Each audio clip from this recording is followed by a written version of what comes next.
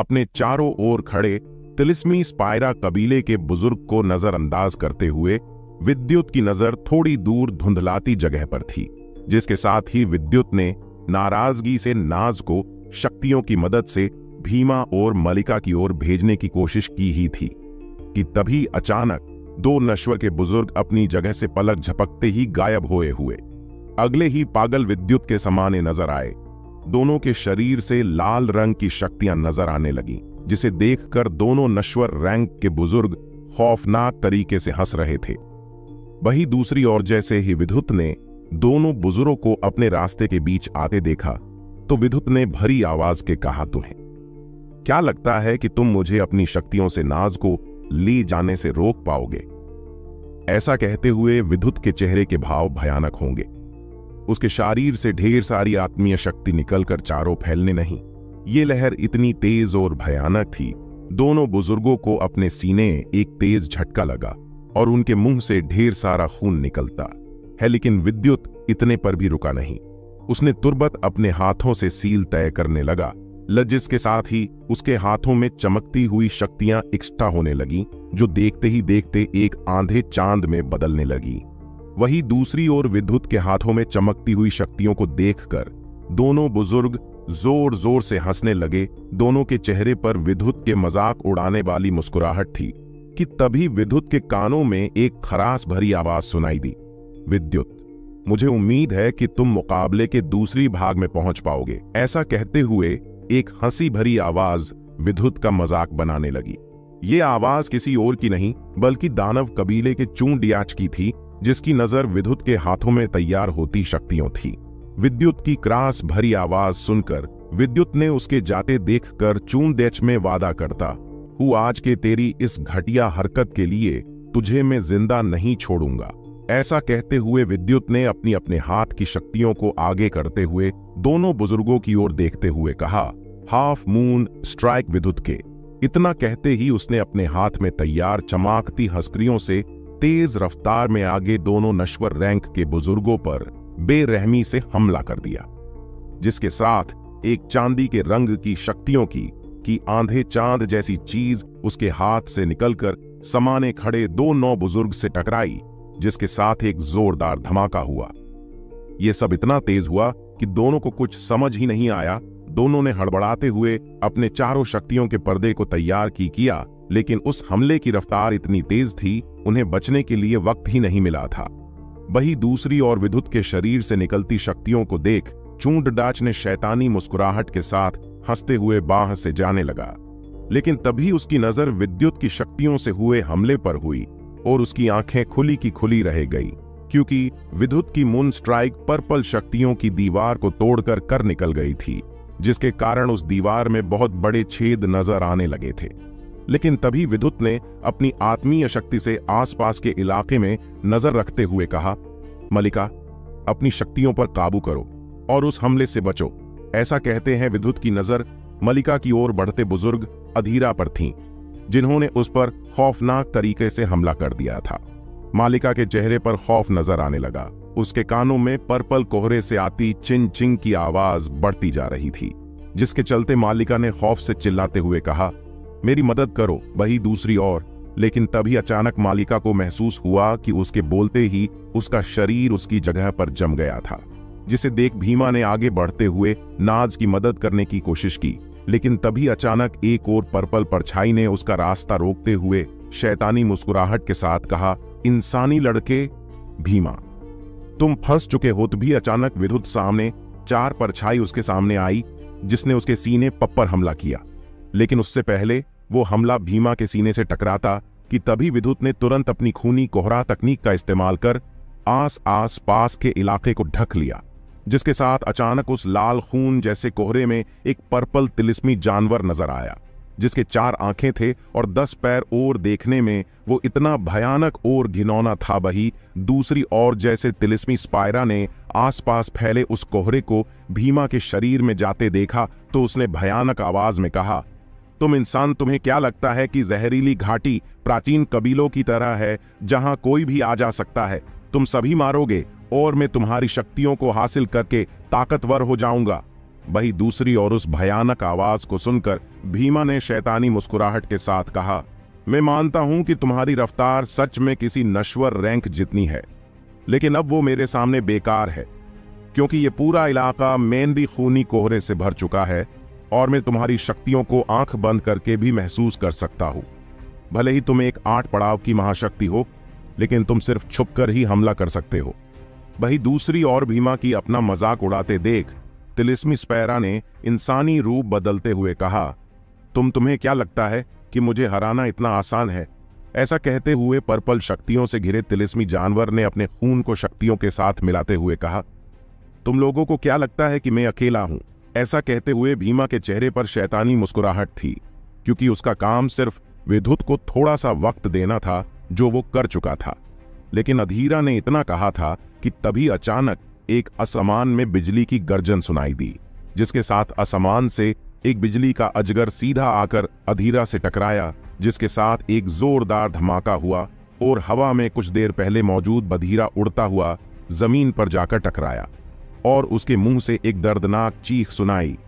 उस हमले से अधीरा को चोट तो नहीं आई, लेकिन बिजली अजगर से टकराने से अधीरा की सील कमज़ोर पड़ गई थी। उसने अपनी नज़रें मलिका और नाज की ओर की, जो उसकी सील से आज़ाद हो गई थी, और नाराज़गी से उसे की ओर देख रही थी, जिसे देखकर बधेरा की आँखों में परेशानी नज़र आने लगी थी, क्योंकि वो समझ गया था कि उस पर हमला करने वाले उस पर बहुत तेज रफ्तार में हमला किया था। जिसके अधीरा ने नाराज़गी के साथ बिजली के अजगर की दिशा में देखते हुए कहा, कौन हो तुम? अगर तुमने ये हमला जानबूझकर किया तो संभलो कि मैं तुम्हें से जाने नहीं दूँगा। और अधीरा ने इतना ही कहा था कि तभी अचानक उसके कानों में एक गंभीर आवाज़ सुनाई दियाठ पड़ाव की महाशक्तियाँ लगता, स्पायरा कबीला, इतना भी ताकतवर नहीं है। खैर, छोड़ो देखो, मुझे स्पायरा से कोई लेना देना नहीं है। मुझे पॉइजन सीड हासिल करना तो वो मैं हासिल कर चुका हूँ। अगर तुम मुझे सीड लेकर जाने देते तो ये मुकाबला यही खत्म हो सकता है। लेकिन विद्युत के सामने आते हुए बुज़ुर्ग मोदक ने हँसते हुए ज़ोर ज़ोर से हंसने लगा। एक नश्वर और इतना गुरूर तुझे कया लगता है कि मैं यहाँ अकेला हूँ? ऐसा कहते हुए अचानक बहा, दस से अधिक परछाई नज़र आई। और उनमें से एक परछाई ने आगे आते हुए कहा, लड़के तुझे क्या लगता मैं यहाँ अकेला हूँ? यह सिर्फ़ एक चाल थी। अब जो तू सामने आ गया है तो तुम सभी मरोगे बही दूसरी ओर उन दस तिलिस्मी जानवर को देखते विद्युत के बगल में खड़ी जख्मी नाज, जो कि पर्पल शक्तियों के जकड़ से आज़ाद हो चुकी थी। अपनी शक्तियों को बाहर निकल आते हुए नारालगी जगी से दस तिलिस्मी जानवरों को देखने, क्या नाज सच में ठीक हो चुकी थी? क्या विद्युत अकेला एक साथ सबका सामना कर पाएगा? आखिर क्यों चूंडाच विद्युत से मुकाबला नहीं कर रहा था? थोड़ी दूरी पर मौजूद नाज ने जैसे ही पर्पल शक्तियों से घिरे तिलिस्मी जानवरों को विद्युत पर एक साथ हमला करते देखा तो उसके माथे पर परेशानी नज़र आने लगी। नाज ने अपने सफ़ेद पड़े चेहरे पर नाराज़गी के साथ शक्तियों का बाहर निकालते हुए विद्युत की ओर बढ़ना शुरू ही किया था, कि एक पर्पल शक्तियों की दीवार को देख नाज के माथे पर परेशानी नज़र अनार लगी, जिसके साथ ही नाज ने उस शक्तियों के पर्दे पर जोरदार हमला किया। नाज के हमला करते ही नाज के शरीर से शक्तियों की काली लहर निकली। जो तेज रफ्तार में एक काले बड़े सांप में बदलकर पर्पल पर्दे से टकराई। एक ज़ोर धमाके के साथ नाज के हमले ने सभी का ध्यान उस ओर खींच लिया, जिसे देखकर तिलिस्मी स्पाइरा कबीले के चेहरे पर हल्की नाराज़गी नज़र आने लगी, क्योंकि उसके ताकतवर हमले के बावजूद भी शक्तियों के पर्दे में दरार तक नहीं आई, जिसे देख भीमा नाज और गारा के चेहरे पर हल्की परेशानी नज़र आने कही। लेकिन तभी नाज को तिलिस्मी स्पाइरा कबीले के बुज़ुर्ग की बेशर्मी भरी हँसी सुनाई दी। बेवकूफ़ लड़की, तेरी आत्मीय शक्तियाँ खत्म होने के कदार पर है, इसलिए तेरी शक्तियाँ कितनी भी ताकतवर है तो अब इस पर्दे को कभी नहीं तोड़ सकती, और अब तुम सब मरोगे। इस लड़के के साथ ऐसा कहते हुए, उस बुज़ुर्ग की नज़र विद्युत की ओर हुई, जो नाराज़गी के साथ सिकुड़ गई थी, और उनके शरीर से शक्तियों की दस परछाई निकली, जो गहरे पर्पल रंग थी। जिसके साथ ही चिंची की आवाज़ उस कोहरे से भरे इलाके में गूंजने लगी। वही दूसरी ओर लेकिन तभी एक भयानक आवाज़ सुनाई दी। क्या बकबास है तुम लोगों की ये तिलिस्मी स्पाइरा सील तुम्हें क्या लगता है कि तुम मुझे अपने इस मामूली सील से रोक सकते हो? ऐसा कहते हुए विद्युत ने अपनी आँखें बंद की ओर उसके चेहरे पर शैतानी मुस्कुराहट नज़र आने लगी, जिसे देखकर तिलिस्मी स्पाइरा कबीले के बुज़ुर्ग ने विद्युत की ओर देखते हुए कहा तुम बुड्ढा का दिमाग खराब हो गया है। लेकिन तुमने एक बात सच कही कि तुम फंस चुके हो। यह तुम्हें अभी पता चल जाएगा। ऐसा कहते हुए विद्युत ने अपने आत्मीय शक्तियों को बाहर निकाला, जिसके साथ उसने अपने मुँह से ढेर सारी शक्तियों को बाहर निकाला, जो करीब एक एक समुन्दर की लहर की तरह थी। और विद्युत के शरीर से निकलती हुई आस पास फैले पर्पल कोहरे की चादर से टकराई, जिसके साथ एक जोरदार धमाका हुआ और शक्तियों के पर्दे में एक में तेज झटका लगा और शक्तियों की लहर उन कोहरे के पर्दों की शक्तियों को तोड़ते हुए जाकर चारों खड़े आठों बुज़ुर्गों से टकराई, जिसके साथ वो शक्तियों का पर्दे दरारों से घिर गए। लेकिन अगले ही पल वो पर्दे शक्तियों से फिर से भर गए, जिसे देखकर विद्युत हैरान था। वही दूसरी और विद्युत के माथे पर परेशानी देख केमिस्ट बुज़ुर्ग भामा ने ही मन अपने सामने बैठे बुज़ुर्गों की ओर देखते हुए मन ही मन कहा विद्युत की आत्मीय शक्तियाँ कमज़ोर हैं। वो इस पर्दे को तोड़ नहीं पाएगा। मुकाबले के खत्म होने का समय नज़दीक है। अगर विद्युत ने जल्दी ही कुछ नहीं किया तो उसके लिए मुकाबले में जगह बनाए रहना मुश्किल हो जाएगा। ऐसा कहते हुए केमिस्ट बुज़ुर्ग भामा के चेहरे पर हल्की परेशानी नज़र आने लगी थी। वही दूसरी ओर विद्युत के चेहरे पर तो मुस्कुराहट थी, जिसे देखकर रखवाला टोली के बुज़ुर्ग ने मन ही मुस्कुराते हुए कहा, लड़के, विद्युत। तेरा खेल खत्म हुआ। तिलिस्मी स्पायरा सील को तोड़ना इतना आसान नहीं है, लेकिन तभी उनकी नज़र विद्युत के चारों ओर दिखती परछाई पर नज़र पड़ी। अचानक विद्युत की आँखों में बैंगनी चमक नज़र आने लगी, और उसके माथे पर के नीला निशान नज़र आने लगा, जिसके साथ वो निशान दो अलग अलग शक्तियों से ढक गया था। असल में विद्युत जानता था कि अगर तिलिस्मी स्पायरा कबीले को पता चला कि विद्युत पर्पल आत्मीय ऊर्जा के विक्षणारियम पॉइसन सीड के साथ उसके पूरे पेड़ की शक्तियों को सोख लिया है, जिसे फिर से तैयार होने में नाज ने कितना वक्त लगेगा। तो विद्युत, वो विद्युत को आसानी से जाने नहीं देंगे। इसलिए विद्युत के माथे पर परेशानी थी कि तभी उसके कानों में तिलिस्मी मधु की आवाज़ सुनाई दी, और उसने गंभीर आवाज़ में कहा, विद्युत, अगर तुम्हें मुकाबले आगे के पड़ाव में जाना है तो तुम्हें मेरी मदद की ज़रूरत होगी। फ़िलहाल तुम पर्पल आत्मीय शक्ति का इस्तेमाल नहीं कर सकते हैं, और अगर तुम उस आत्मीय ऊर्जा का इस्तेमाल नहीं करोगे तो तुम इस सील को सिर्फ़ तभी तोड़ सकते हो, जब तुम्हारे पास कोई ताकतवर सील हो, या कोई बहुत ताकतवर हमला। ऐसा कहते हुए तिलिस्मी मधु के चेहरे पर शातिर मुस्कुराहट थी, जिसे देखकर विद्युत ने गंभीर आवाज़ में कहा, क्या तुम्हें सच में लगता कि मैं इस पर्दे को नहीं तोड़ सकता? वो भी तुम्हारी मदद के बिना? ऐसा कहते हुए विद्युत ने अपने शरीर से ढेर आत्मीय शक्ति को बाहर निकाला और उसके आसपास धुंधलाहट नज़र आने लगी, जिसे के साथ विद्युत ने नाराज़गी के साथ चारों ओर दिखती शक्तियों के तिलिस्मी जानवर की ओर देखते हुए कहा, मैं भी देखता हूँ कि तुम कब तक मुझे रोकते हो। ऐसा कहते हुए विद्युत ने खूनी समुन्दर और खूनी कोहरा तकनीक का इस्तेमाल किया, जिसके साथ हो उसके हाथों में बेशुमार शक्तियाँ इकट्ठी होने लगी। जिसके साथ ही विद्युत ने मुस्कुराहट के साथ कहा, अपने हाथ की सील बदली और अचानक उसके शरीर से ढेर सारी लाल शक्तियाँ निकली, जिसे देखकर तिलिस्मी स्पाइरा कबीले के बुज़ुर्ग मोदक ने विद्युत का मज़ाक उड़ते हुए कहा, लड़के, तू कितनी भी कोशिश करने इस स्पाइरा सील को कभी नहीं तोड़ पाएगा? ऐसा कहते हुए बुज़ुर्ग मोदक के चेहरे पर नाराज़गी के भाव थे, लेकिन तभी विद्युत ने अपने हाथ में मौजूद सील अजीब और गरीब अंदाज में बदलने लगी और विद्युत ने भारी आवाज़ में कहा, फ्लिंग स्टार सीलोर।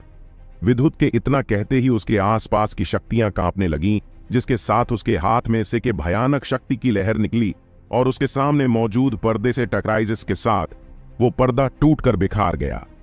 वही दूसरी और उस शक्तियों कर पर्दे के टूटते ही आसपास तिलिस्मी स्पायरा कबीले के बुज़ुर्ग अधीरा ने मोदक की ओर बढ़ते हुए कहा, बुज़ुर्ग मोदक, वो लड़का तुम्हारे पीछे है, उसके हमले से बचो। वही दूसरी ओर बुज़ुर्ग अधीरा की बात सुनते ही बुज़ुर्ग मोदक का चेहरा सफ़ेद पड़ गया, लेकिन इससे पहले कि वो अपनी जगह से हिलते भी उन्हें विद्युत की आवाज़ सुनाई दी। क्या हुआ बुज़ुर्ग? मोदक मरने से डर लगता है। चिंता मत करो, क्योंकि आज का हिसाब सिर्फ़ दर्द के बदले दर्द है। ऐसा कहते हुए विद्युत ने उनकी पीठ पर हाथ रखते हैं, कहा भस्मशील तकनीक और विद्युत ने इतना कहा था कि उसके हाथ से एक लाल रंगी शक्तियों की लहर निकली, जिसके साथ ही उसके मुँह से दर्द भरी चीख सुनाई दी। तो क्या विद्युत निकल पाएगा तिलिस्मी स्पाइरा कबीले के आठों बुज़ुर्गों से? जैसे ही विद्युत ने शक्तियों की धुंधलाहट का फ़ायदा उठाकर अपनी भस्मासील की शक्तियों से स्पायरा कबीले के बुज़ुर्ग मोदक के पीठ पर हमला किया तो भस्मासील की भयानक शक्तियों से बुज़ुर्ग मोदक को एक बेहद भयानक शक्तियों का दबाव अपनी पीठ पर महसूस हुआ, जिसके साथ वो पलक झपकते ही एक पचास फुट के तिलिस्मी जानवर के असली रूप में आ गया जो एक आठ पैर वाला था और उसकी आठ आँखें और उसके शरीर पर मौजूद मेटल से सख्त काले वालों थे। बुज़ुर्ग मोदक जानते थे कि विद्युत का हमला कितना खतरनाक है और इंसानी रूप में अगर वो उस हमले को अपने शरीर पर लेते तो शायद गंभीर रूप से जख्मी हो जाते। लेकिन बुज़ुर्ग मोदक नहीं जानते थे कि विद्युत का इरादा उन्हें तो जान से मारने का था। वही दूसरी ओर, थोड़ी दूरी पर खड़े बाकी सातों बुज़ुर्ग तो समझ ही नहीं पा रहे थे। उनके सामने मौजूद लड़के की शक्तियाँ अचानक इतनी ज़्यादा कैसे बढ़ सकती हैं? साथ ही वो विद्युत की रफ्तार तक महसूस नहीं पा रहे थे। उन्हें सिर्फ़ हमला करते शक्तियों से भरी हथेली और धुंधला पड़ता शरीर नज़र आ रहा था। जिसे देखकर स्पायरा कबीले के बुज़ुर्गों की नाराज़गी और बेरहमी बढ़ती ही जा रही थी। अंदर ही अंदर उन्होंने गुस्सा आ रहा था कि उन्हें अपना वो खुद बुज़ुर्ग होकर जवान पीढ़ी के एक लड़के को हरा नहीं पा रहे थे। तभी बुज़ुर्ग अधीरा ने हल्की परेशानी के साथ कहा, कुछ तो अजीब है, इसकी शक्तियाँ और इसकी आत्मीय ऊर्जा में महसूस नहीं कर पा रहा, जबकि कुछ देर पहले में इसकी शक्तियों को अच्छे से महसूस कर पा रहा था। जो कि नश्वर रैंक के पहले पड़ाव पर थी। लेकिन अचानक इसकी शक्तियाँ इतनी बढ़ चुकी हैं कि मुझे खुद भी घबराहट महसूस हो रही है। बुज़ुर्गों, जरा संभल रहना। इस लड़के के पास खास तकनीक के साथ उनके इस्तेमाल की समझ बहुत अच्छी है। हमें जल्द से जल्द इस लड़के मुकाबले में हराकर जख्मी करना होगा। अगर लीडर और बाकी बुज़ुर्ग मेंबर को पता चला कि कुछ जवान पीढ़ी के लड़कों ने हम सभी की ऐसी हालत कर दी तो हम सभी को शर्मिंदा होना होगा और स्पायरा कबीला का नाम बदनाम हो जाएगा। हर कोई इस बात पर हमारे कबीले का मज़ाक बनाएगा। बुज़ुर्ग की बात का मतलब बाकी बुज़ुर्ग भी समझ गए थे, क्योंकि उनकी शक्तियाँ भी नश्वर रैंक पर थीं और उन्होंने भी विद्युत से मुकाबला करने में दिक्कत हो रही थी, जिसे देखकर सभी ने मिलकर अपनी शक्तियों को बाहर निकालकर सील तैयार करनी शुरू की। वो सभी जानते थे कि अकेले अकेले विद्युत यानी मेघराज से मुकाबला उनकी जान खतरे में डाल सकता था। वही दूसरी ओर जैसे ही शक्तियों की लहर विद्युत के हाथ से बुज़ुर्ग मोदक के पीठ से टकराई, उससे पहले ही वो तिलिस्मी जानवर रूप में बदल गए थे। लेकिन विद्युत ने भस्मासील की शक्तियों को वड़ा दिया था, जिसके साथ एक बार फिर बुज़ुर्ग मोदक किसी बड़े काले गोले की तरह जाकर ज़मीन पर मौजूद पहाड़ी से टकराए। उनके टकराने की रफ्तार इतनी तेज थी कि पूरे पहाड़ी पर बहुत तेज धम्म की आवाज़ सुनाई दी, जिसके साथ शक्तियों की कहर से आपास की जगह धुंधलाने लगी। वही दूसरी ओर उस हमले को देख सायरा ने हैरानी के साथ कहा, क्या ये इस लड़के की असली शक्तियाँ हैं? अगर ऐसा है तो विद्युत और चुंड की शक्तियों में ज़्यादा फ़र्क नहीं है। सायरा को यकीन नहीं हो रहा था कि विद्युत इतना ताकतवर है वो विद्युत को। जब भी वो पहले से अधिक ताकतवर इंसान के साथ मुकाबला करते देखती थी विद्युत बड़े ही आसानी से बचकर निकलने में कामयाब हो जाता था।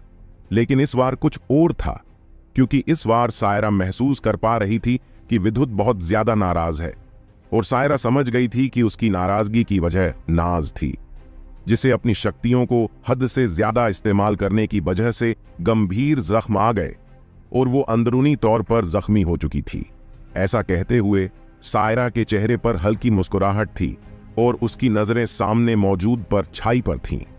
हालाँकि सायरा को जलन भी हो रही थी, जिसने अपने हमले के बाद अपनी नज़रें बाकी बुज़ुर्गों की ओर की ज़ोर बार बार विद्युत यानी मेघराज पर एक वाद एक हमले का रहे थे, जिनसे बचने का विद्युत को मौका तक नहीं मिल रहा था लेकिन फिर भी विद्युत बड़े अजीब ढंग से बचने में कामयाब होता जा रहा था कि तभी सायरा ने अपनी कलाई को झटकते हुए हाथ को हिलाया जिसके साथ उसकी हरी अंगूठी में से कुछ शक्तियों से घिरे बीज दिखाई दिया। मुझे विद्युत की मदद कर होगी। बिना पॉइजन सीड के ये मुकाबला कभी खत्म नहीं होगा। ऐसा कहते हुए सायरा विद्युत की ओर बढ़ ही रही थी कि उसके इन कानों में अपने भाई निर्वाण की आवाज़ सुनाई दी और उसका ध्यान थोड़ी दूरी पर खड़े हरे कपड़ों में मौजूद निर्वाण की ओर गया। निर्वाण की नज़रें शक्तियों से घिरे प्वाइजन सीड की ओर। इशारा हुए कहा कहीं तुम इन फालतू प्वाइजन सीड को विद्युत को देने की तो नहीं सोच रही हो? सायरा, अगर ऐसा तो मुझे नहीं लगता कि इससे कोई फ़ायदा होगा, क्योंकि अब विद्युत को पॉइजन सीड देने से भी कोई फ़ायदा नहीं होने वाला। ऐसा कहते हुए निर्वाण की आवाज़ गंभीर थी। वही दूसरी ओर सायरा ने अपनी भौहें सिकोड़ते हुए निर्वाण से गंभीर आवाज़ में कहा, कहना क्या चाहते तुम? निर्वाण सायरा के भाव गंभीर होते देख, और उसकी आँखों में नाराज़गी देख निर्वाण ने गंभीर आवाज़ में कहा, मैं समझ चुका है कि तुम सिर्फ़ मेघराज को अपनी टोली में मिलाने के लिए ऐसा कर रही हो, लेकिन तुम शायद भूल गई हो। विद्युत नाज भीमा मल्लिका गारा का साथ नहीं छोड़ेगा। सायरा उसकी शक्तियाँ। हम सभी से जायदा सायरा। निर्वाण ने ऐसा कहते हुए विद्युत के हमले से हुए धमाके की ओर इशार करते हुए कहा, जिसने आसपास फैले पर्पल कोहरे की चादर की ओर इशारा करते हुए कहा जो उनकी शक्तियों को कमज़ोर कर रहा था। निर्वाण के इशारे का मतलब समझकर सायरा ने गंभीर आवाज़ में कहा, वो सब तुम मुझ पर छोड़ दो निर्वाण भाई, क्योंकि मैं जानती हूँ, विद्युत के साथ कोई ऐसा नहीं है जो मुकाबले के दूसरे भाग से आगे जा सके। वो सभी महाशक्ति है और उनकी शक्तियाँ इतनी ज़्यादा नहीं है कि पितृदेव की समाधि के तीसरे भाग में मौजूद दस दीवारों के अंदर जा सके। इसलिए मुकाबले के दूसरे भाग के आगे सिर्फ़ वही योद्धा जाएँगे, जिनकी शक्तियाँ नश्वर रैंक पर है। सायरा की बात सुनकर निर्वाण को थोड़ा गुस्सा आ रहा था, क्योंकि उसकी बहन को उसके मुकाबले विद्युत पर ज़्यादा यकीन था। साथ उसे विद्युत से जलन भी हो रही थी, क्योंकि विद्युत आठ नश्वर रैंक के बुज़ुर्गों से मुकाबला करने के बाद जख्मी नहीं हुआ था, जो आसानी से किसी नश्वर सम्राट को जख्मी कर सकते थे। असल में निर्वाण जलन भरी नज़रों से, विद्युत को शक्तियों से मुकाबला करते देख रहा था, क्योंकि खुद खुद निर्वाण भी जानता था कि उसकी शक्तियाँ के चलते वो भी दस ताकतवर द्वारों के अंदर नहीं घुस पाया था। जब उसका सामना चूंड एट डेट से हुआ था और उसे मुकाबले में पीछे हटना पड़ा था, लेकिन विद्युत तो उसके सामने सात नश्वर सम्राट से के साथ मुकाबला कर रहा था और आठवें बुज़ुर्ग की हालत तो विद्युत खराब कर रखी थी। वही दूसरी ओर विद्युत ने जैसे ही बुज़ुर्ग मोदक की दर्द से भरी चीख सुनी तो उसके चेहरे की मुस्कुराहट और बढ़ गई, क्योंकि उसका हमला पहले से कहीं ज़्यादा ताकतवर था, जिसके साथ ही विद्युत ने मन ही मन कहा, मेरे सील तैयार करने की रफ्तार और भी ज़्यादा तेज हो गई है। ऐसा कहते हुए उसका ध्यान अपनी ओर आते सातों तिलिमसी बुज़ुर्ग के हमलों की ओर गया। लेकिन विद्युत को इस बात से कोई फ़र्क नहीं पड़ा। अगले पल विद्युत ने अपने पंख पड़ एफ़ डी डी ढाई और वो तुरंत तेज रफ्तार में कुछ कदम पीछे हटते हुए अपने शरीर को शक्तियों को ढकते हुए हाथ हिलाया, जिसके साथ उसके शरीर से रंग बिरंगी बिजली की शक्तियाँ नज़र आने लगी। और जो छोटे छोटे रंग बिरंगी बिजली की शक्तियों के बने सांप थे, जिनसे विद्युत ने अपनी ओर आते हमलों को रोका और हवा में एक साथ गई धमाके हुए, और विद्युत कुछ कदम पीछे घिसट गया।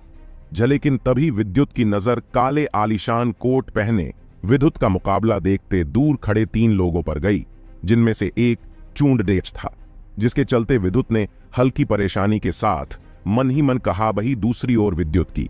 अपनी ओर देखते देख चूंद डेच के बगल में खड़े अश्वा ने गंभीर आवाज़ में विद्युत की ओर इशारा करते हुए कहा, चूंड, तुम्हें नहीं लगता कि हमारे पास इस मेघराज को खत्म करने का अच्छा मौका है? ये जवान लड़का और कोई नहीं बल्कि अश्वा था, जिसकी आँखों में बेरहमी थी। अश्वा की बात सुनकर चूंदाच ने शैतानी मुस्कुराहट के साथ कहा, फ़िलहाल इसके साथ आए सभी लोग जख्मी हैं और स्पायरा कबीले के बुज़ुर्ग के साथ मुकाबला करके इसकी शक्तियाँ पहले से कम हो गई हैं। नहीं, ऐसा करने की कोशिश मत करना, शायद तुमने ध्यान नहीं दिया। लेकिन इस वक्त दस से भी ज़्यादा मेडिकल सेंटर के बुज़ुर्ग इस मुकाबले पर नज़र गड़ाए हैं। अगर हमने विद्युत पर हमला किया तो ये मेडिकल सेंटर के बुज़ुर्ग इस मौके को हाथ से नहीं देंगे और प्राचीन दानव कबीले को मुकाबले से बाहर कर दिया जाएगा। वही दूसरी और अश्वा ने जैसे ही चूण के मुँह से मेडिकल लीग का ज़िक्र सुना, एक पल के लिए आशा के चेहरे पर नाराज़गी नज़र आने लगी, जिसके चलते अश्वा ने मन ही मन आसमान में मौजूद बुजुगरों को कोसते हुए धीमी आवाज़ में कहा यह लकड़ा हर बार किसी न किसी की मदद से बच जाता है। जिसे देख चूण ने एक पल सोचते हुए मुस्कुराहट के साथ कहा, फ़िक्र मत करो, मुकाबला खत्म होने का समय बहुत कम बचा है और मुझे नहीं लगता कि इसके पास पॉइजन सीड है, वरना ये इतनी देर मुकाबला नहीं करता। ऐसा कहते हुए चूर्ण अपनी घिन्न भरी नज़रों से विद्युत यानी मेघराज को देख रहा था कि तभी उसे अपनी होती दिखी, जिसके साथ विद्युत का ध्यान पेड़ के पास खड़े शक्तियों से घिरे, चूर्ण और अश्वा से हुए हुए उनके की पीछे खड़े सुनहरी चमक से घिरे रहस्यमयी नकाब पोष पर थी, जिसे देखकर विद्युत ने मन ही मन कहा, ये इंसान आखिर है कौन में? इसकी शक्तियों को महसूस क्या नहीं कर पा रहा? मैं आत्मीय शक्ति के आत्म स्तर पर पहुँच चुकी है। कहीं इसकी आत्मीय शक्तियाँ मुझसे भी ज़्यादा तो नहीं? लेकिन विद्युत ने इतना ही कहा थी कि तभी शक्तियों से बाहर हाथ अपनी ओर आता महसूस हुआ।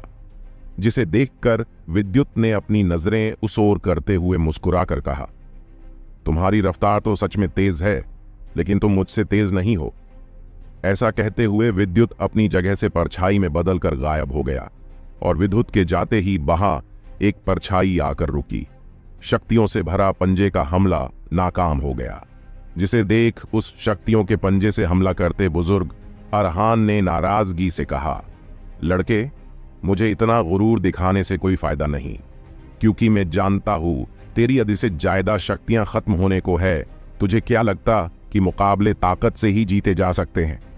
अगर ऐसा है तो तुझसे बड़ा बेवकूफ़ नहीं कोई। ऐसा कहते हैं बुज़ुर्ग अरहान के चेहरे पर नाराज़गी थी, जिसे देखकर विद्युत ने मुस्कुराते हुए बुज़ुर्ग अरहान के लगातार हो रहे हमलों से बचते हुए कहा, तुमने सही कहा, लेकिन तब तक तुम ज़िंदा नहीं रहोगे बुज़ुर्ग। अरहान ऐसा कहते हुए विद्युत की आवाज़ में बेरहमी थी। असल में तिलिस्मी मधु विद्युत की छुपकर अपनी शक्तियों से मदद कर रही थी। और वो पहले विद्युत को उसकी ओर आते हमलों के बारे में बता देती थी, क्योंकि तिलिस्मी मधु की शक्तियाँ नश्वर रैंक पर थीं।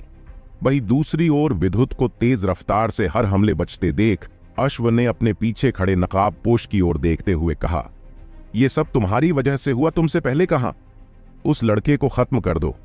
लेकिन तुम्हें तो विद्युत से बदला लेना था। अब देखो, क्या तुम्हें लगता है कि तुम उसे हरा सकते हो? अश्वा की नाराज़गी देख उस सुनहरी चमक वाले नकाब पोष ने खराश भारी आवाज़ में कहा, तुम्हें क्या लगता कि मैं मैं इस लड़के को नहीं हरा सकता? भूलो मत मेरी असली शक्तियाँ उस मुकाम पर जिस पर तुम सोच भी नहीं सकते। अगर तुम दिन रात ट्रेनिंग करोगे तो भी साल भर कहाँ समय लगेगा? मुझ जितना ताकतवर होने में और उस मुकाबले में ऐसा कोई नहीं जो मुझे हरा सके। तुम्हारा भाई चूंडाच भी मुझे नहीं हरा सकता। अश्वा, इसलिए मुझसे इस तरह बात करने की कोशिश मत करना, क्योंकि मैं तुमसे और तुम्हारे काबिले से नहीं डरता, और न मुझे डरने की ज़रूरत है। और वैसे भी अब तिलिस्मी स्पायरा कबीले के रहते विद्युत को मुकाबले जीतने का सवाल ही नहीं। और जैसे ही ये लड़का मेडिकल लीग के मुकाबले से बाहर होगा, मैं इसे खत्म कर दूँगा। अगर उस लड़की को मुझ पर शक नहीं हुआ होता तो मैं विद्युत को कब का खत्म कर देता? हाँ, मैं मानता हूँ कि मैंने विद्युत को कमज़ोर समझने की गलती कर दी। नवाब पोष की नाराज़गी देख, चूंड, डीच, अश्वा की ओर घूरते हुए कहा, क्या तुम अपना मुँह बंद नहीं रख सकते? अपने भाई को चुप कर चूंद डेच ने गंभीर आवाज़ में शक्तियों के घिरे धुंधले नवाब पोष की ओर देखते हुए कहा, मैं जानता हूँ कि तुम किस कबीले से हो, लेकिन हमारे बीच एक सौदा हुआ था। अगर तुम्हें वो स्क्रॉल चाहिए तो तुम्हें विद्युत, यानी मेघराज को खत्म करने में मेरी मदद करनी होगी। स्पायरा कबीले का लीडर दुर्जन एक और जहाँ अनजान शक्तियों से, ढकी परछाई से चूर्ण और अश्वा बात कर रहे थे, वही दूसरी ओर विद्युत, तेज रफ्तार मेन लाइटनिंग मूवमेंट रफ्तार का इस्तेमाल कर अपनी ओर आते, नश्वर कबीले के बुज़ुर्गों से बचते हुए, ज़मीन से टकराए जखनी मोदक की ओर बढ़ रहा था। जिसे देखकर बुज़ुर्ग अरहान ने अपने नुकीले पंजों से विद्युत पर हमला कर उसे रोकने की कोशिश की, लेकिन विद्युत ने बाकी हमलों से बचते हुए अपने सुनहरे भाले में शक्तियों को भरकर उन पंजों को रोकते हुए हुए कहा, इस तरह तो मैं कभी मुकाबले को खत्म नहीं कर पाऊँगा। ऐसा कहते हुए विद्युत की नज़र चूर्ण और अश्वा की ओर थी। विद्युत समझ गया था कि स्पाइरा कबीला प्राचीन दानव काबिले से मिला हुआ है। जिसके चलते विद्युत ने नाराज़गी से अश्वा की ओर देखते हुए मन ही मन कहा, एक वार में इस पितृदेव की समाधि में पहुँच जाऊँ, उसके बाद में दोनों भाइयों को वहीं दफन कर दूँगा। चाहे उसके लिए मुझे ब्रह्मचक्र सील का इस्तेमाल क्यों न करना पड़े? विद्युत अभी सोच ही रहा था कि तभी उसके कानों में सायरा की फ़िक्र भरी आवाज़ सुनाई दी और उसका ध्यान सायरा की ओर गया। विद्युत का ध्यान अपनी ओर होते देख सायरा ने गंभीर आवाज़ में कहा विद्युत मुकाबले का समय खत्म होने वाला ही अगर तुमने जल्द जल्द यहाँ से निकलना होगा। ऐसा कहते हुए सायरा की आँखों में नाराज़गी थी। सायरा की बात सुनकर विद्युत ने तेज़ी से ज़मीन की ओर बढ़ना शुरू किया। असल में विद्युत की नज़र जख्मी बुज़ुर्ग मोदक की ओर थी, जो विद्युत के हमले से बुरी तरह जख्मी हो गया था और जैसे तैसे बच पाया था।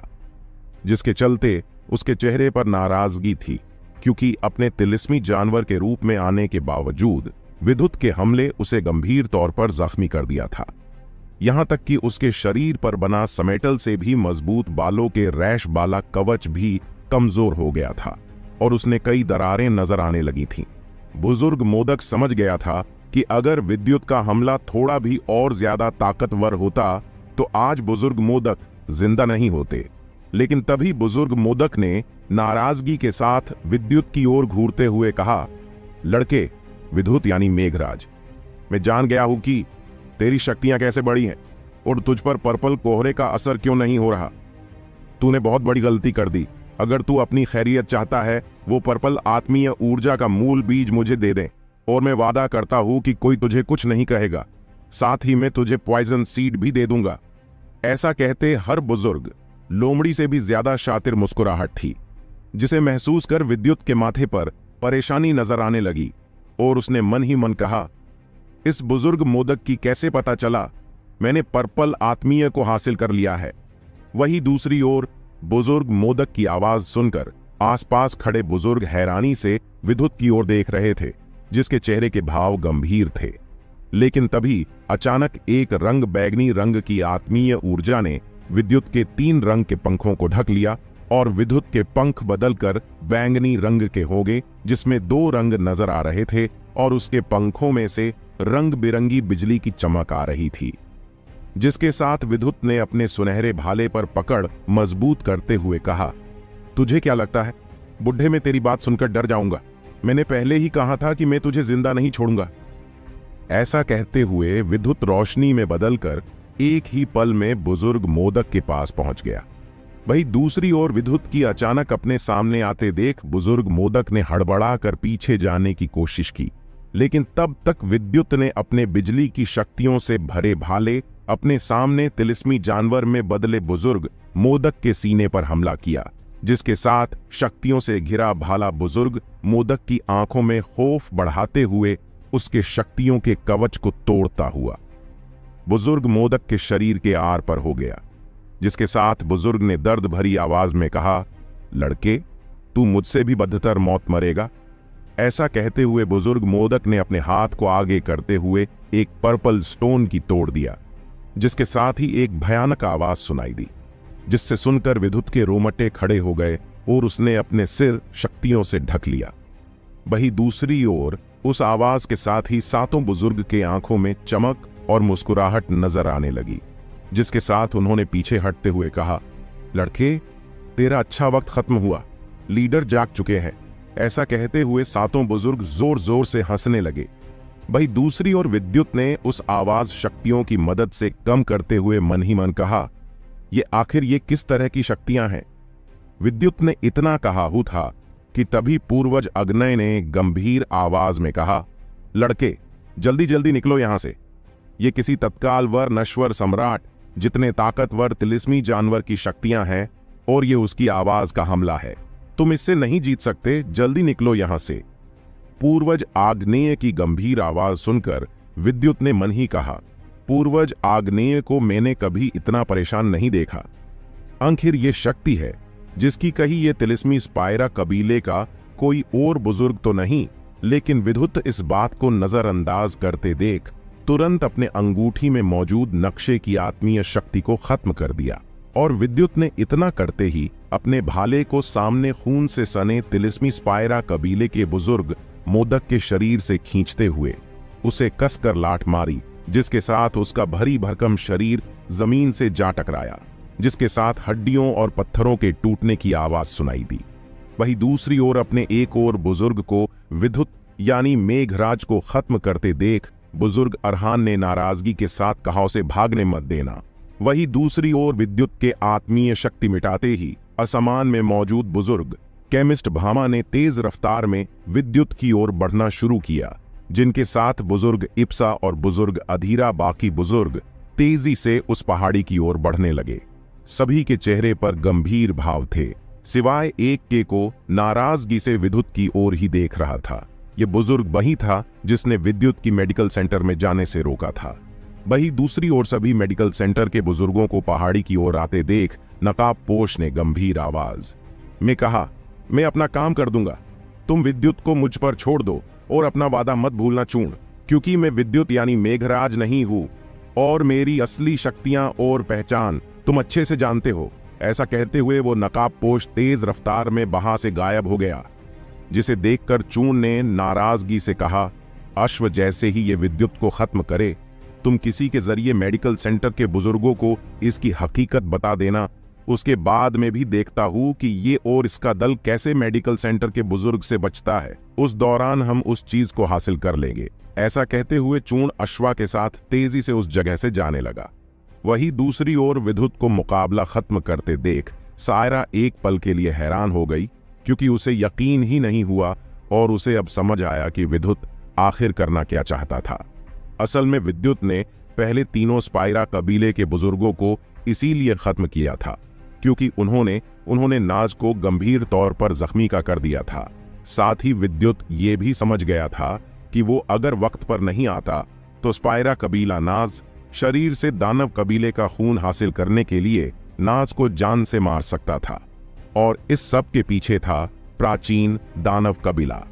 इसलिए विद्युत ने पहले ही सोच लिया था, उसने तीनों बुज़ुर्गों को जान से मारकर नक्शे का इस्तेमाल किया, क्योंकि विद्युत पहले ही अपनी आत्मा स्तर की शक्तियों से महसूस कर लिया था। लेकिन विद्युत को नहीं पता था कि बुज़ुर्ग मोदक विद्युत के अंदर मौजूद पर्पल आत्मीय ऊर्जा की चमक को महसूस कर लेगा, जिसके चलते विद्युत तेज रफ्तार में पहाड़ी पर मौजूद नाज और बाकी सभी की ओर बढ़ने लगा, क्योंकि बुज़ुर्ग मोदक बुज़ुर्ग के साथ आसपास मौजूद पर्पल शक्तियों की चादर भू बिखर गई थी और नाज और बाकी सभी उसकी ओर बढ़ने लगे। वही दूसरी ओर विद्युत के माथे पर घबराहट देख केमिस्ट बुज़ुर्ग भामा ने गंभीर नज़रों से बुज़ुर्ग अधीरा की ओर देखते हुए कहा, हमें इस लड़के को बचाना होगा। बुज़ुर्ग अधीरा केमिस्ट। भामा की बात सुनकर बुज़ुर्ग आधीरा ने गंभीर आवाज़ में कहा, क्या आप भूल रहे हैं ये शक्तियाँ किसी और की नहीं? नश्वर सम्राट स्पायरा कबीले के लीडर की है, जो कितना बेरहम है। और अगर उसे पता चला कि मेघराज, यानी विद्युत ने, उसके कबीले के तीन बुज़ुर्गों को खत्म कर दिया है तो वो विद्युत को जाने नहीं देगा। बुज़ुर्ग अधीरा की बात सुनकर बगल में खड़े बुज़ुर्ग इप्सा ने नाराज़गी के साथ कहा यह लड़का हमेशा मुश्किल खड़ी कर देता है। अब इसने पर्पल आत्मीय ऊर्जा को चुरा लिया। ये बात अगर उस जल्लाद इस्पायरा काबिले के लीडर को पता चली तो वो विद्युत को ज़िंदा वापस नहीं जाने देगा, और हम सभी मिलकर भी उसको रोक नहीं पाएँगे। उसकी शक्तियाँ बहुत ताकतवर हो चुकी हैं, मैं महसूस कर सकता हूँ। वही दूसरी ओर विद्युत इससे पहले नाज और बाकी सभी के पास पहुँचता, कि तभी उसे अचानक अपने सीने की ओर बढ़ते शक्तियों से धुंधलाहट से घिरा हाथ नज़र आया। जिसके साथ ही विद्युत की आँखों में खौफ नज़र आने लगा, क्योंकि वो हाथ ही करीब दस फुट बड़ा था। जो विद्युत को पकड़ने ही वाला था, कि तभी उस हाथ से एक तलवार टकराई और एक परछाई ने विद्युत को सीने पर हाथ मारकर पीछे कर दिया। वही दूसरी ओर विद्युत इससे पहले कुछ समझता कि तभी उसका शरीर घिसटते हुए तीस फुट पीछे हो गया। लेकिन विद्युत की नज़र तो सिर्फ़ उस हाथ और बड़ी शक्तियों की तलवार के टकराने से हुए धमाके पर थी, जिसके कारण पहाड़ी पर एक दरार पड़ गई थी, और उसने अंधेरा नज़र आ रहा था, और तभी विद्युत की ओर एक भयानक आवाज़ सुनाई दी, जो उसके सामने मौजूद घने पर्पल कोहरे से आई थी, जिसके अंदर विद्युत महसूस कर पा रहा था कि यह खतरनाक शक्ति उस कोहरे के अंदर थी, जिसमें से एक दो दो नुकीले पंजे बाहर आए तो एक दो बड़े दांत के साथ दस आँखों वाला एक बड़ा सिर बाहर आया, जिसके मुँह से दो दांत बाहर आ रहे थे। हैरानी की बात थी कि उस सिर के ऊपरी हिस्से पर काले के बजाय बैंगनी रंग के क्रिस्टल मौजूद थे, जिन्हें विद्युत ने महसूस कर मन ही मन कहे। कहीं ये पर्पल आत्मीय ऊर्जा तो नहीं, लेकिन विद्युत महसूस कर पा रहा था कि वो पर्पल आत्मीय ऊर्जा विद्युत की ऊर्जा से अलग थी, जिसे देख कार विद्युत ने मन ही मन कहा कहीं ये ऊर्जा पॉइजन सीड को रिफाइन करके तैयार की ऊर्जा तो नहीं। ऐसा सोचते हुए विद्युत ने मन ही मन कहा, मुझे उस जगह से सभी पॉइजन सीड ले लेने चाहिए थे, लेकिन विद्युत ने इतना ही कहा था कि तभी तिलिस्मी मधु ने नाराज़गी से कहा, तुम कितने लालची हो? खैर छोड़ो, तुम्हारी जानकारी के लिए बता दूँ, उन सीड के बजाय अगर तुम अपनी जान की फ़िक्र करो तो अच्छा है। क्योंकि तुम्हारे सामने कोई स्पायरा कबीले का बुज़ुर्ग नहीं, बल्कि उसका लीडर है, जिसकी शक्तियाँ में भी महसूस नहीं कर पा रही। लेकिन मैं इतना कह सकती हूँ कि ये एक साथ पड़ाव वाले नश्वर सम्राट से कहीं ज़्यादा ताकतवर है। तिलिस्मी मधु की बात सुनकर विद्युत ने अपनी घबराहट को काबू करते हुए कहा, तुम उसकी फ़िक्र मत करो, आज मुझे कोई नहीं रोक सकता। ऐसा कहते हुए विद्युत की नज़र उस धुंधलाहट से घिरी जगह पर थी, जहाँ एक बूढ़ा अधेड़ उम्र का इंसान मौजूद था, जिसके शरीर से लगातार शक्तियाँ बहरे आ रही थीं और उन शक्तियों के कारण उसके चारों एक सफ़ेद रंग की धुंधलाहट थी। साथ उसके हाथों में एक सफ़ेद शक्तियों से बनी तलवार थी, जिसे पकड़े वो अधेड़ उम्र का इंसान ने काला कोट पहना हुआ था। तभी उस अधेड़ उम्र के इंसान ने अपने समाने मौजूद भयानक सिर और पंजों के सहारे बाहर आते तिलिस्मी जानवर को देखते हुए, मुस्कुराते हुए कहा, स्पायरा, कबीले के लीडर दुर्जन, तुम्हें नहीं लगता कि मेडिकल लीग के मुकाबले के लिए तुम्हारी शक्तियाँ कुछ ज़्यादा नहीं है? ये जवान पीढ़ी का मुकाबला है, इसलिए चुप चुप पीछे हट जाओ। उस आवाज़ को सुनकर विद्युत और बहा मौजूद हर किसी के चेहरे पर मुस्कुराहट नज़र आने लगी। तभी विद्युत ने उस काले कोट को ध्यान से देखते हुए कहा बुज़ुर्ग हेमराज, ये तो रखवाला टोली के बुज़ुर्ग हेमराज है। ऐसा कहते हुए विद्युत के चेहरे पर खुशी थी। वही दूसरी और बुज़ुर्ग हेमराज को अचानक वहाँ देखकर सभी मेडिकल सेंटर के बुज़ुर्ग उनके अगल बगल आकर खड़े हो गए और उनके चेहरे पर अब तक जो घबराहट पे फ़िक्र थी, वो गुरूर में बदल गई। लेकिन तभी उन्हें पर्पल कोहरे से एक पर्पल रोशनी अपने सामने इंसानी रूप में आती दिखाई दी। जो देखने में एक बुढ़ा आदमी था और उसके हाथों में एक अजीब सी पर्पल तलवार थी, जिस पर कुछ अजीब ओ गरीब दरारें मौजूद थीं। और देखने में वो तलवार कम एक लकड़ी का टुकड़ा लग रही थी, लेकिन जैसे ही विद्युत ने उस तलवार पर गौर किया तो वो एक पल के लिए हैरान हो गया, क्योंकि उस तलवार पर मौजूद दरार असल में दरार नहीं, बल्कि नसों की तरह थी, जो सामान्य मौजूद भयानक बुज़ुर्ग की हाथ से जुड़ी हुई थी। जिसने भारी आवाज़ में कहा, मुझे कोई शोक नहीं है। तुम्हारे इस बहियत मुकाबले की लीग में शामिल होने का, इसलिए मेरी इस जहरीली पहाड़ी से दफ़ा हो जाओ मेघराज। और इस लड़के को मुझे दे दो बर्ना लीडर दुर्जन। इससे आगे कुछ कहता कि तभी हेमराज ने अपनी तलवार पकड़ मज़बूत करते हुए कहा, वरना तुम्हें जो करना है करो, लेकिन इस लड़के को क्या मैं मेडिकल लीग में भाग लेने आए? किसी भी जवान पीढ़ी के लड़के को तू हाथ भी नहीं लगा सकता। लीडर दुर्जन, भूलो मत। ये लड़का इस वक्त मेडिकल लीग का हिस्सा है। रही बात तुम्हारे उस पर्पल आत्मीय ऊर्जा की तो वो एक कुदरती शक्ति थी, जिसे मेघराज ने अपनी काबिलियत के दम पर हासिल किया है। इसलिए बेहतर होगा कि तुम इस बात को भूल जाओ। बुज़ुर्ग हेमराज की बात सुनकर लीडर दुर्जन के शरीर से आत्मीय ऊर्जा बाहर आने लगी, जिसके साथ ही आसपास मौजूद नश्वर रैंक के योद्धाओं को भी पर्पल शक्तियों का दबाव महसूस होने लगा। वही दूसरी ओर विद्युत को तो इस बात पर कोई फ़र्क ही नहीं पड़ रहा था, इसलिए उन्हें दर्द से लाल होते नाज और बाकी सभी के चेहरे को देखकर अपनी आत्मीय ऊर्जा से उन सभी को ढक लिया। क्या होगा जब विद्युत सामना होगा स्पायरा काबिले के लीडर से? कौन है वो नकाबपोश जिसने विद्युत को जान से मारना चाहता था? जैसे ही आसपास खड़े लोगों की नज़र रखवाला, टोली के बुज़ुर्ग हेमराज और तिलिस्मी जानवर के स्पायरा कबीले के लीडर के शरीर से निकलती शक्तियों को देखा तो सभी की आँखों में खौफ नज़र आने लगा। हेमराज की बात सुनकर लीडर दुर्जन ने अपने हाथ की उंगली को आगे करते हुए अपना शक्तियों से भरा हाथ दिखाते हुए कहा, बुज़ुर्ग हेमराज, क्या तुम्हें सच में लगता है कि तुम मुझे हरा पाओगे? मैं बहुत जल्द सुप्रीम बनने वाला हूँ, और तुम जानते हो अगर तुम्हारी ये रखवाला टोली बार बार मेरे रास्ते में आती रही तो ये मत समझना कि तुम अगर मेडिकल सेंटर का हिस्सा हो तो मेरा कबीला कुछ नहीं करेगा। एक बार मैं सुप्रीम बन गया तो मेरे कबीले की शक्तियाँ इतनी बढ़ जाएँगी तुम्हारी टोली के बुज़ुर्ग भी मेरा सामना नहीं कर पाएँगे। इसलिए हमारे बीच हुए सौदे को, को तोड़ने की कोशिश मत करो। बुज़ुर्ग है मेरा आज देखो मुझे सिर्फ़ इस लड़के विधुत यानी मेघराज और इसके साथ आए जवान पीढ़ी के लड़कों से मतलब है। अगर तुम मुझे इन्हें सौंप देते हो तो तुम और बाकी सभी यहाँ से जा सकते हो। ऐसा कहते हुए विद्युत महसूस कर पा रहा था कि लीडर दुर्जन की पर्पल आँखें विद्युत की ओर ही थीं। लजिस के चलते विद्युत अपने शरीर से शक्तियाँ निकालकर मुकाबले के लिए तैयार था, लेकिन उसके साथ खड़े भीमानाज, मलिका और गारा के साथ बाकी सभी की आँखों में परेशानी नज़र आ रही थी कि तभी उन सभी को बुज़ुर्ग हेमराज की आवाज़ सुनाई दी। अच्छा फिर तो भूल जाओ। क्योंकि इतने वक्त से मैंने भी नहीं देखा कि मेरी शक्तियाँ बड़ी हैं कि नहीं, और तुम्हारी बड़ी हुई शक्तियाँ देखकर मैं भी सोच रहा हूँ कि पुराने हिसाब पूरे कर लिए जाए। ऐसा कहते हुए विद्युत महसूस कर पा रहा था कि बुज़ुर्ग हेमराज ने अपने शरीर से सफ़ेद शक्तियों को बाहर निकालकर आसपास पूरे इलाके को ढक दिया था, जिसकी वजह से महाशक्ति रैंक के जवान पीढ़ी के योद्धाओं को अपने शरीर पर शक्तियों के कवच तैयार करने पड़ गए थे, क्योंकि बुज़ुर्ग हेमराज की शक्तियों के खींचाव के चलते उनकी शक्तियाँ कांपने लग गई थीं, कि तभी बुज़ुर्ग हेमराज ने बिना मुड़े कहा, बुज़ुर्ग भामा, सभी को लेकर यहाँ से निकलिए, और मेडिकल सेंटर की रखवाला टोली के मेंबर तैयार हो जाओ।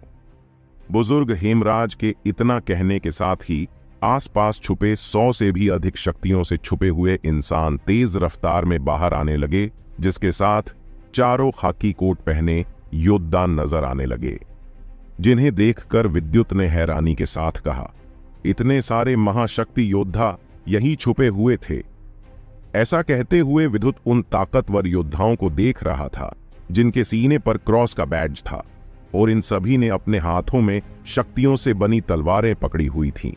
विद्युत की हैरानी देखकर सायरा ने गंभीर आवाज़ में कहा, विद्युत यानी मेघराज, यहाँ एक बड़ा मुकाबला होने वाला है। इसलिए हमें यहाँ से चलना होगा। और इतना हैरान होना की ज़रूरत नहीं है। ये रखवाला टोली की खास टुकड़ियों में से एक तीसरी सबसे ताकतवर सफेदा टोली है, जो आमतौर मुकाबले के वक्त ही सामने आती है। विद्युत इस टोली में सिर्फ़ महाशक्ति रैंक, पहले पड़ाव से लेकर चौथे पड़ाव तक के योद्धा शामिल किए जाते हैं, जिन्हें शक्तियों को छुपाने की खास ट्रेनिंग दी जाती है। और साथ ही उन्हें रहस्यमय तकनीक दी जाती, जिसकी मदद से योद्धा उसे सीखकर अपनी शक्तियों को इस तरफ़ छुपा सकता है, जैसे उसके पास शक्तियाँ ही न हो। ऐसा कहते सायरा की आँखों में जलन थी, क्योंकि सच तो यही था कि सातों कबीलों में से एक न होने के बावजूद मेडिकल सेंटर के पास योद्धाओं की कोई कमी नहीं है। लेकिन विद्युत सायरा की बात पर हैरान होने के बजाय मन ही मन कहा, अगर मेडिकल सेंटर की ताकत इतनी ज़्यादा है तो प्राचीन दानव कबीले की शक्तियाँ तो उससे भी ज़्यादा होगी। मुझे अपनी शक्तियों को बढ़ाना होगा। ऐसा कहते हुए विद्युत ने अपनी नज़रें चारों रंग बिरंगी शक्तियों के साथ खड़े, सैकड़ों योद्धाओं के बीच खड़े, दो अधेड़ उम्र के इंसानों की ओर अपनी नज़रें की। वही दूसरी ओर अपने सामने सौ ताकतवर योद्धाओं को देखकर लीडर दुर्जन ने नाराज़गी के साथ बुज़ुर्ग हेमराज की ओर देखते हुए कहा यह मत समझना कि मैं आज तुमसे डर गया हूँ, बुज़ुर्ग। हेमराज, हम जल्द ही मिलेंगे और इस मुकाबले का फैसला करेंगे। ऐसा कहते हुए बुज़ुर्ग हेमराज ने अपनी पर्पल शक्तियों को वापस लेते हुए वापस जाने लगा, जिसके साथ आसपास का पूरा इलाका शक्तियों खींचकर लीडर दुर्जन के अंदर जाने लगी, जिसके साथ ही स्पायरा कबीले के बाकी बुज़ुर्ग भी नाराज़गी से मेडिकल सेंटर की टुकड़ी के पीछे खड़े लाल कपड़ों में मौजूद विद्युत को देख रहे थे। वही दूसरी ओर बुज़ुर्ग हेमराज ने अपनी नज़रें आसपास मुकाबले के कारण हुए पहाड़ी के आसपास के इलाके को देखकर अपनी नज़रें विद्युत की ओर की ओर गंभीर आवाज़ में कहा, मुकाबले में जितने वाले योद्धा मेडिकल सेंटर में जाकर अपने पॉइजन सीड जमा करके अपना टोकन हासिल कर सकते हैं, ताकि वो अगले मुकाबले में जा सके। पॉइजन सीड के नाम सुनते ही नाज के चेहरे पर हल्की परेशानी नज़र आने लगी। और वो भीमा मलिका और गारा की ओर देखने लगी। हालाँकि उसकी नज़र विद्युत की ओर भी गई, लेकिन विद्युत के चेहरे पर दिखती परेशानी देखकर नाज को लगा कि शायद विद्युत ने पॉइजन सीड हासिल करने में नाकाम हो गया था। लेकिन नाज को क्या पता था? विद्युत ने पॉइजन सीड नहीं, बल्कि विक्षणारी पॉइजन सीड का पूरा ट्री की शक्तियों को ट्रेन कर करके हासिल कर किया था। लेकिन विद्युत अब भी अपने ख्यालों में गुम ही था कि तभी सायरा ने विद्युत की ओर एक छोटा सा बक्सा भेजते हुए कहा यह पॉइजन सीड है जो मैंने तुम्हारी मदद से हासिल किए हैं। अचानक सायरा की बात सुनकर और अपनी ओर आते हरे बक्से को देख विद्युत सायरा की ओर हैरानी भरी नज़रों से देखते हुए बोला, शुक्रिया सायरा, इस मदद के लिए। लेकिन विद्युत ने सायरा से उस बॉक्स को लेने के लिए मना नहीं किया, बल्कि उस बॉक्स को नास की ओर देते कहा, सभी को पॉइजन सीड दे दो। ऐसा कहते हुए विद्युत की आवाज़ गंभीर थी। वही दूसरी ओर विद्युत की बात सुनकर गारा विभू मल्लिका सभी के सफ़ेद पड़े चेहरों पर मुस्कुराहट नज़र आने लगी थी और सभी तिलिस्मी चीलों पर बैठकर मेडिकल सेंटर की ओर बढ़ने लगे। वही दूसरी ओर विद्युत अब भी हैरानी भरी नज़रों से जहरीली पहाड़ी के पर्पल कोहरे को देख रहा था, जो पहले से भी अधिक घना होता जा रहा था, जिसे देखकर विद्युत ने मन ही मन कहा इस पहाड़ी की कुदरती शक्तियाँ बहुत ज़्यादा है। अगर मुझे मौका मिला तो मैं एक बार उस जगह पर जाकर देखूँगा। असल में विद्युत ने जैसे ही अपनी आत्मीय शक्ति का विकास कर, आत्मा स्तर हासिल किया। विद्युत को महसूस हो गया कि उसने जिस वैंगनी रंग की आत्मीय ऊर्जा को जिस वेक्शनरी पॉइजन रूट से हासिल किया था, उस जगह पर कुछ तो खास था, क्योंकि इस तरह की अजीब शक्तियों का इस तरह से बढ़ना बहुत रहस्यमयी था। लेकिन फ़िलहाल के लिए विद्युत खुश था, क्योंकि अब उसे यकीन था कि वो चूर्ण की शक्तियों का सामना कर सकता था। विद्युत अभी सोच ही रहा था कि तभी उसकी नज़र एक काले कोट पहने बुज़ुर्ग की ओर हुई, जो उसे ही देख रहे थे। और तभी विद्युत को उस काले कोट पहने बुज़ुर्ग की आवाज़ सुनाई दी, जो कोई और नहीं, बल्कि केमिस्ट बुज़ुर्ग भामा थे, जिन्होंने शक्तियों की मदद से बात करते हुए विद्युत से कहा तुम खुशनसीब हो लड़के की, तुम उस विक्षणी पॉइजन रूट में पैदा हुई आत्मीय शक्ति ऊर्जा को हासिल कर पाए। और इसलिए तुम्हारे हमलों को महसूस करने की काबिलियत कहीं ज़्यादा बढ़ गई। लेकिन तुम्हें थोड़ा संभल कर रहना होगा। अब जो लीडर दुर्जन को तुमने नाराज़ कर दिया है तो वो मेडिकल लीग को खत्म होने का इंतज़ार करेगा। ऐसा कहते केमिस्ट बुज़ुर्ग भामा की आवाज़ गंभीर थी, जिसे देख विद्युत ने भी शक्तियों की मदद से बात करते हुए कहा मुझे नहीं लगता कि मेडिकल सेंटर के बुज़ुर्ग से कोई दुश्मनी करना चाहेगा। इसीलिए आप फ़िक्र मत कीजिए। बुज़ुर्ग भामा और आज की मदद के लिए शुक्रिया। अचानक विद्युत के मुँह से खुद के लिए बुज़ुर्ग शब्द सुनकर बुज़ुर्ग भामा समझ गए कि विद्युत मेडिकल सेंटर का मेंबर बनने के लिए तैयार है। इसी तरह खुले आसमान में 20 चील एक साथ तेज रफ्तार में उड़ते हुए मेडिकल सिटी की ओर बढ़ने लगे, जहाँ उन्हें अगले मुकाबले के नियम बताए जाने थे। वही दूसरी ओर वो चील सीधा मुकाबले के मैदान में जाकर ज़मीन की ओर बढ़ने लगे। लेकिन जैसे ही चील पर बैठे योद्धाओं को मैदान में मौजूद लोगों ने देखा तो वो ज़ोर ज़ोर से चिल्लाने लगे, जिनकी नज़रें अपने सामने मौजूद चिल से परछाई में बदलकर उतरते जवान योद्धाओं पर थी। लेकिन विद्युत की नज़र तो सिर्फ़ उन योद्धाओं पर थी, जो सबसे आगे खड़े थे। ये और कोई नहीं, सातों प्राचीन कबीले के जवान पीढ़ी के काबिल योद्धा थे। जिनमें से एक सायरा भी थी। उस बड़े मैदान में 200 योद्धाओं मौजूद थे और सभी अपने पॉइजन सीट जमा कर अपना रैंक का नंबर देखने का इंतज़ार कर रहे थे।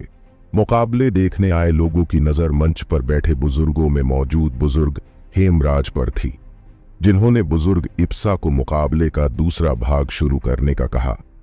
वही दूसरी ओर बुज़ुर्ग इप्सा जो कि सभी बुज़ुर्गों की सहमी के साथ आगे आते हुए गंभीर आवाज़ में बोले, मेडिकल सिटी के मुकाबले में बचे हुए योद्धाओं पहले रैंक पर है प्राचीन दानव कबीले से चुनाईसा कहते हुए बुज़ुर्ग इप्सा के चेहरे पर हल्की नाराज़गी थी, लेकिन उनके समाने मंच पर आगे आते चूर्ण के चेहरे पर गुरूर भरी मुस्कुराहट थी, जिसने एक नज़र मुकाबला देखने आए लोगों की ओर देखा। लेकिन हैरानी की बात थी कि सभी के चेहरे पर खामोशी थी। और उसने अपनी नज़रें भीड़ में खड़े मेघराज की ओर की।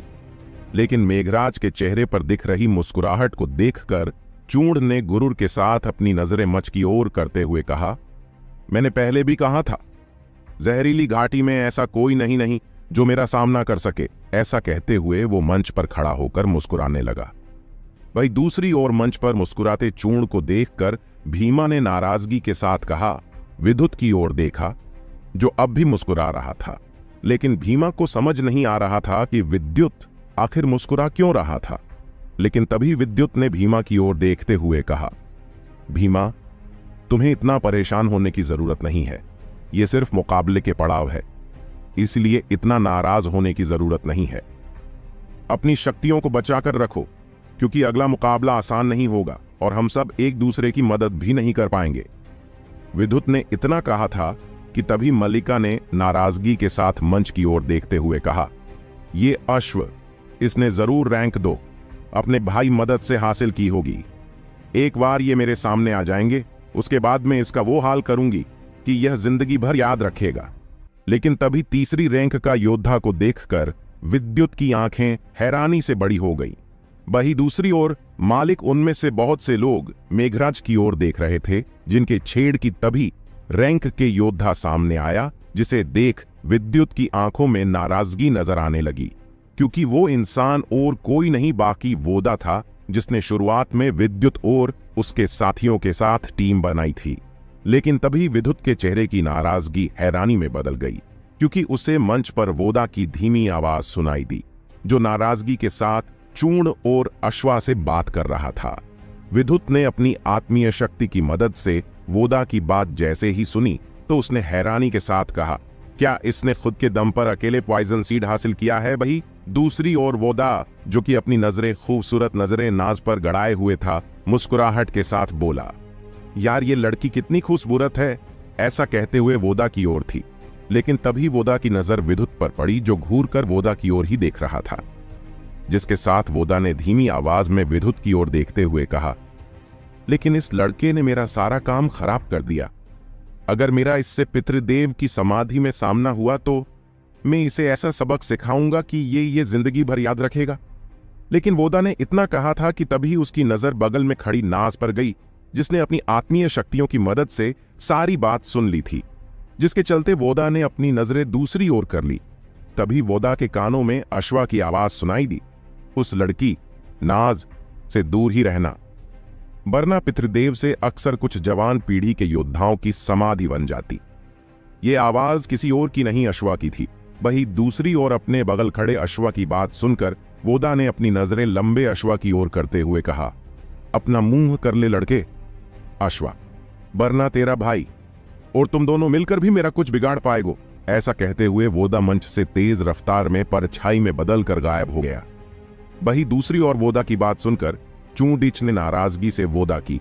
देखते हुए हुए कुछ कहने ही वाला था कि तभी चूर्ण ने अश्वा को रोकते हुए मंच से नीचे जाती हुए कहा, उस बोने की शक्तियाँ काफ़ी अजीब हैं। जब मुकाबले में ये लोग सामने आएँगे, तब मैं इसे और उस विद्युत दोनों खत्म के दूँगा। तीसरी रैंक के बाद चौथी पांचवी रैंक मायरा और नायरा को मिली इसके साथ रैंक छह से लेकर बारह तक प्राचीन दानव कबीले के बाकी जवान पीढ़ी के योद्धा सामने आए। लेकिन उनमें से सायरा नहीं थी। तभी बुज़ुर्ग इप्सा ने मैदान में बढ़ते शोर को शांत करते हुए भारी आवाज़ में कहा, मुकाबले का दूसरा भाग दो दिन बाद शुरू होगा।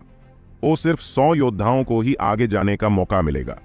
बाकी बचे योद्धा पहले की तरह अपना टोकन टोकन काउंटर से हासिल कर सकते हैं। इसी के साथ मुकाबले का पहला पड़ाव खत्म हुआ।